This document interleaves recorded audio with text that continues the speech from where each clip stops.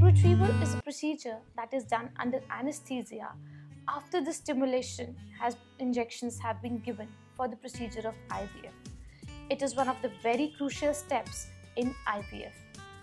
On the day of egg retrieval under anesthesia, whatever follicles have been so formed on an ultrasound by means of the injection are retrieved by means of a simple procedure. In this, the patient is anesthetized completely for just about 5 minutes or so and the eggs are retrieved by means of a needle that is mounted on the ultrasound probe and an internal ultrasound is done and the eggs are aspirated.